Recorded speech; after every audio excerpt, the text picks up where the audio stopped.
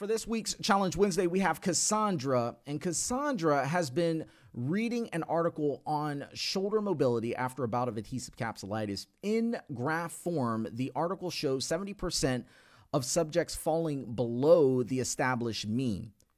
Now, which of the following is the most accurate representation of the graph? So we got A, negatively skewed bell curve, B, normalized distribution, C, right skewed bell curve, and D, sampling error. Now, on the NPTE, if you don't know this, research doesn't really count for very much, maybe like three to four of the questions. But sometimes it kind of comes down to the wire, right? Those questions could be make you or break you. When it comes down to the NPTE, though, and you're looking at research, I would say bell curve is one of those things that you really need to understand well. There's a bunch of questions that's, that can come from there, and it's a pretty hot target. So let's go ahead and knock this one down. Again, we have Cassandra has been reading an article on shoulder mobility after a bout of adhesive capsulitis. Now, I'll stop there. Adhesive capsulitis, frozen shoulder. We know that that condition has a lot of shoulder mobility restrictions, mostly due to the capsule itself being bound down, a lot of restrictions there, right? Uh, but here's the deal Does that really make a difference for this specific question? I don't think so. I mean, the first sentence is pretty straightforward. Let's continue to move down. It says in graph form, the article shows 70% of the subjects following uh, falling below the established mean value. And that's where we need to slow up, especially for those of y'all on the podcast right now, driving, y'all on the treadmill. Hold on now. Hold on. You got to make sure that you understand this point because it's going to be really important when we start looking at the answer choices.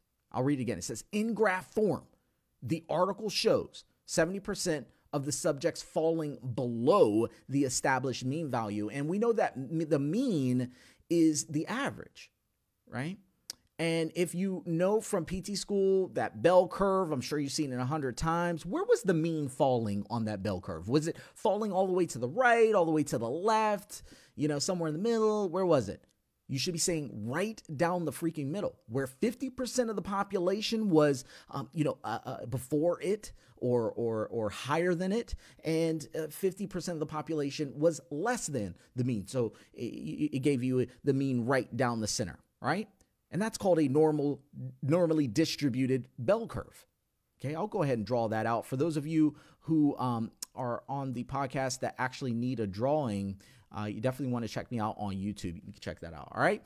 So we now have this part of it that says in graph form, the article shows 70% of the subjects falling below the established mean. So I know that I'm not just looking at a regular bell curve right now. All right. Now, the final sentence of the question says, which of the following is the most accurate representation of the graph? So, for those of you on the podcast, let me go through these answer choices again. We got A, negatively skewed bell curve. B, normalized distribution. C, right skewed bell curve. And D is sampling error. Let's break these down one by one. I already told you before we even jump in this that it doesn't sound like it's a normalized distribution because 50% of the population would be higher than the mean, 50% would be lower, right? Let's look at A. A says negatively skewed bell curve. Now, before we look at this answer, you need to know what skewed is. Not everybody has an understanding of that. So, a, a, skewed bell curve is when it's asymmetrical. It doesn't look like the normally distributed one. It's where the population, the majority of the population, either falls above or below the mean. That creates a skewed bell curve. So it's like where the, you know, the hump of the bell curve, it's like it being shifted to the left or to the right. That's what a skew is. Make sense? All right. So A says negatively skewed bell curve. And I'll tell you right now, a negatively skewed bell curve is also known as a left skewed bell curve. All right. How do you remember that? I'll tell you that in a little bit. All right. But right now, that's what we're talking about. Now, by definition, you may want to write this down, a negatively skewed bell curve is really when the majority of the population is going to fall above the mean. Not below it. The majority of the population is going to fall above the mean. So let me look at the question again. It says in graph form, the article shows 70% of the subjects falling below the mean. All right, so this can't be the right answer. It's the exact opposite of what we would want. Does that make sense? And for, for those of you who are able to look at my Pablo Picasso drawing right now, I'll go ahead and draw that out for you. It looks like this right here. And I apologize for those of you on the podcast right now. Check me out on YouTube. All right, so we'll go ahead and denote that the negative skew. Let's look at B. B says normalized distribution. All right, normalized distribution, again, that's the one we see in PT school a lot, the traditional bell curve. It looks really nice, really pretty. Mean, median, and mode right on top of each other, right down the middle. Is that what's going on in this question?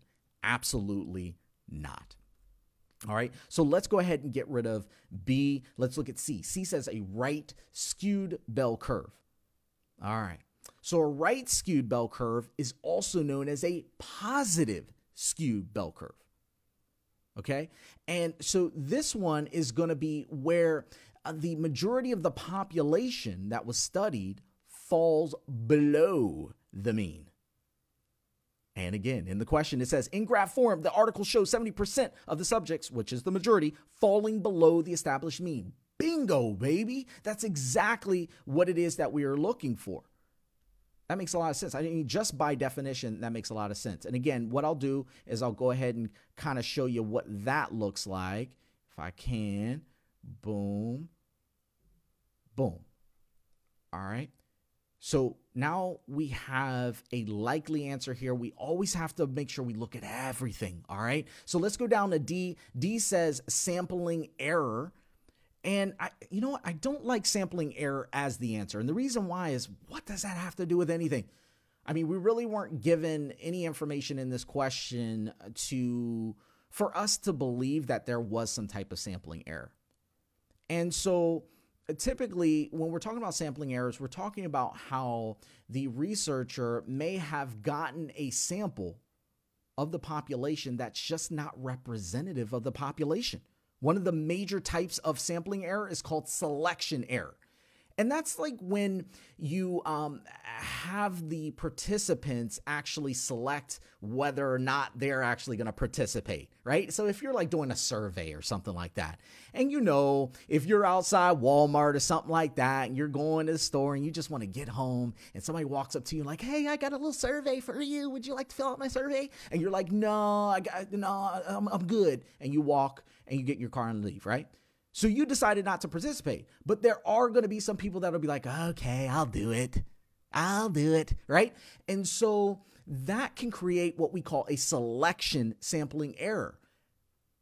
And that some of the people are, you know, that actually fill out that survey, they may not be actually representative of the entire population. There are only a certain group of people that would actually have done that. Does it make sense? That would create a potential selection error. Again, I look up at the question. I don't see nothing in here about selection error or sampling error or anything to make me think that that's the right answer. I'm going to go ahead and nix that answer, leaving us with our final answer of C, right skewed bell curve, baby. That's it. All right. Uh, so I, I want to take you to this next level, though. And I know that this particular question was a lot of just like visual stuff. You have to see it. I understand that. Um, I will tell you, if you're on the podcast, you're here with me li- live right now. There is a technique that you can use to help you out a lot. All right. And it's actually what they call like a foot sign or foot technique. And it's where you can look down at your feet and it allows you to really tell like what a right skew or a left skew looks like. And it's where you look down at your feet and just think about your right foot right now. Socks off, right bare foot right now. And if you look at it, it's like your big toe is is is, you know, further forward than the rest of them majority of the time, right? And as you trickle on down to your, your pinky toe, your fourth and your fifth digit, you see how the foot actually starts to become lower. Well, that's exactly how a right skewed bell curve looks. The majority of the population is on that one side. And as you get further out to the right, it's like there's not many people out there. And it and if you look at your right foot, it kind of does it. It kind of has like the little slope downward. And for those of you here live with me right now, you can actually see that in the green here. You see how this would be your big toe up top here. And as we moved out to your fourth and your fifth digits, look at your foot it would do like this downsloping action. They call it a foot technique. Now, listen, if you are like, what the heck are you talking about right now? I don't see it. Don't worry. That's the reason why I made a cheat sheet for this that actually explains it all. Has some pretty feet on there, not just me drawing it, some pretty feet.